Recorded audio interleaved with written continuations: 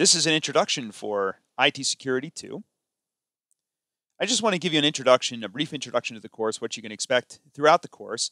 We'll go over the schedule, so what we're going to be discussing throughout the course and when we're going to be discussing it. And then finally, I'll talk about all the various assignments and deliverables that you'll be required to turn in for this course for your grade. So let's get started. So in IT Security 1, you should have learned the following. You should have learned about CIA, um, not the government organization, but CIA as in confidentiality, integrity, uh, and so forth and so on. You learn some security basics. You kind of got an overview of IT security in general. And then you should have learned about some network protocols. You learned a little bit about TCP/IP um, and how that is uh, how how that affects IT security. And just you know, understanding all that stuff helps you also understand about security devices, um, especially with networking, things like routers and firewalls. So you should have gotten a brief overview of some of those devices and how we might use those devices. And you also talked about physical security, so how to physically secure servers and how to physically secure um, infrastructure and things of that nature. You also should have uh, dived into risk management and a little bit about disaster recovery and how to mitigate some of those risks and things like that. So, sort of the business minutia of IT security. So, these should have been the topics that you've already reviewed in IT Security 1. In IT Security 2, we continue uh, discussing IT security. Obviously, we're continuing with the same textbook. Uh, you'll talk about in this in this course. We'll talk about attacks and malware. Uh, we'll talk about ways to mitigate those attacks. So we'll talk about different ways to detect those attacks and how you can mitigate those attacks, how you can protect yourself from those types of attacks. And some of this you talked about already when you talked about network devices in IT Security 1. And then finally, we'll talk about cryptography and encryption and how we can use cryptography and encryption to protect ourselves. And also, we'll discuss how cryptography actually works. All these topics you would be expected to know for your Security Plus. So let's take a look at the schedule. Like most courses, we're broken into 10 weeks. The 11th week is the final exam. You can see that the first four weeks are where we cover threats and vulnerabilities in IT security. So we'll talk about malware, we'll talk about different types of attacks, including application and wireless. We'll talk about social engineering. We'll talk about different ways that we can mitigate some of those attacks, and we'll talk about how we can discover those attacks.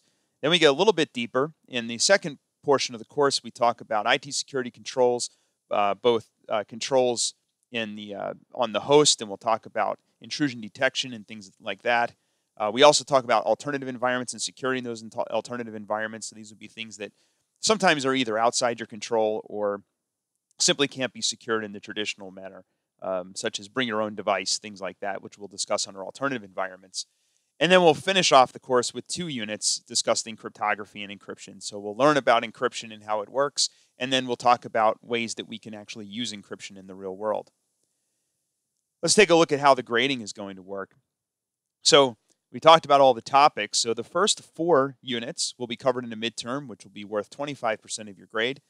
The latter six units will be covered on the final exam, which will be worth another 25% of your grade.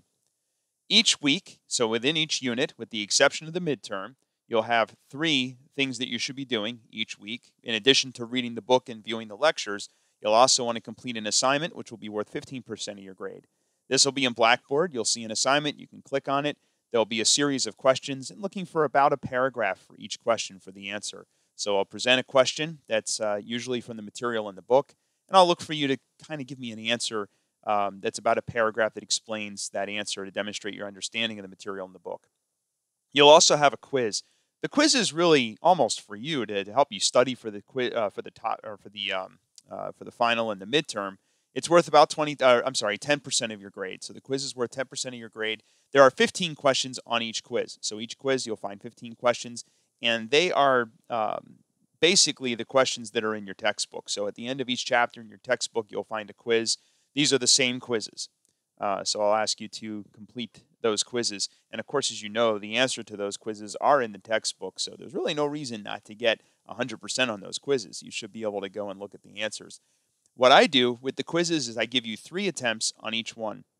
So it's a good study guide. So your first attempt, I usually recommend the first attempt you try the quiz without using the book, um, and that can just demonstrate what your understanding is to help you understand how much you've you've learned. Then the second attempt, try to get 100%. You know, use the book, put the right answers in, make sure you get your 100% for the second attempt, And then by the third attempt, you can go back and take the third attempt when you're studying for the test. So when you're studying for your midterm, uh, go back and take your third attempt. That grade won't matter because I'm going to take the highest grade. So the highest grade on the quiz is the grade that sticks. And again, that'll make up 10% of your grade. So that's 10% right there. That's almost a free 10% as long as you go in and complete those. And again, it's really a good study guide. Then you've got a discussion. So each week there'll be a discussion thread. I'm going to give you a topic to discuss. Um, hopefully, you can respond to that topic. I'm going to try to give you topics that are either timely or things that relate directly to the material that we're discussing. And I encourage you to uh, to try to do more than just the minimum and try to engage in a meaningful conversation. Again, it's only worth 5% of your grade, but when you go in there, take a look at the topic and you want to try to get the full 5% on your grade. Uh, you want to post at least a few times each week. And one thing that's important to note is you don't always have to post an initial post to get that to, to, you know to get that grade you can always respond to other students so some students might post an initial thought about my thread so they'll respond essentially to my thread and then you can respond to them and say you know i think you're right about this or i think you're wrong here's some evidence to suggest why you're wrong or right uh, and of course along with you know suggesting people are right or wrong try to keep it civil just like everything else online. Uh, and finally we have a term project.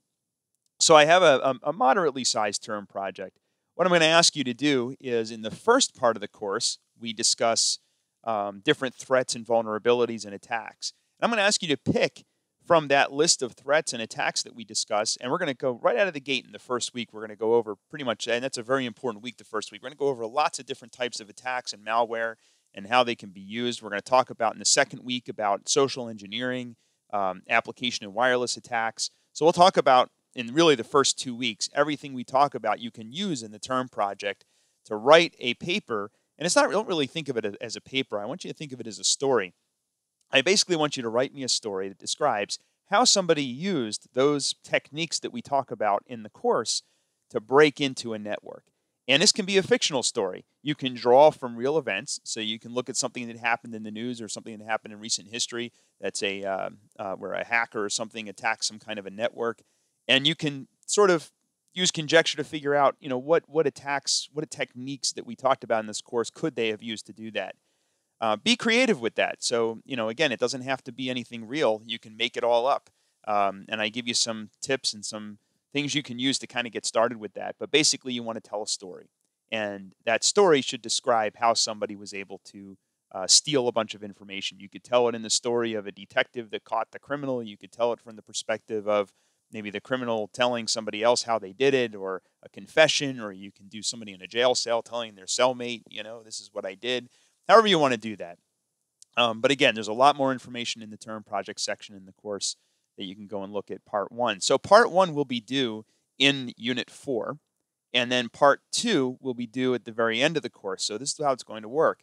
Everyone should be turning in in unit four a uh, their story about how somebody broke into a network again, using the various attacks and malware that we discuss from units one and two. And then during uh, unit six, we will post the um, those stories as long as they're appropriate. Uh, you know, not all of them might get posted, but hopefully most of them will be. We'll post the stories uh, that were submitted, and everyone will be able to read those. So bear that in mind when you write your story that other people are going to be reading these later on in the semester. So everyone's going to take a look at those stories and you're going to pick someone else's story and you're then going to describe how you you're going to pretend that you were brought in as a consultant, an IT security consultant and based on what you've learned in this course and by week 8 you should have learned, you know, enough to to write a pretty detailed paper, you're going to take someone else's story and you're going to tell somebody how you are going to protect from either that happening again or that happening in the future or, you know, however you want to spin that. But you're going to describe how to how to prevent those types of attacks, and you can even write it from the perspective of a magazine article saying, you know, here's what happened, and then here's all the modern technology we have, so that something like this could never happen again. Uh, so take your pick. Again, be creative with that. So that entire term project is going to be about 20% of your grade. So the midterm, the final, and the term project make up the bulk of your grade, and then the balance of your grade is going to come from the assignments, quizzes, and discussions. So I hope you enjoy this semester. Um, make sure each week when you sign in, you're going to take a look at um, at the beginning of each uh, unit. There will be a uh, overview that will tell you what you should be expecting to see that week and what you should complete that week. Be sure to make sure you finish your assignments, your quizzes, and your discussion each week and stay on top of that term project. And again, we'll have a midterm and a final. Uh, and that's it. If you have any questions, please reach out to us. Thank you.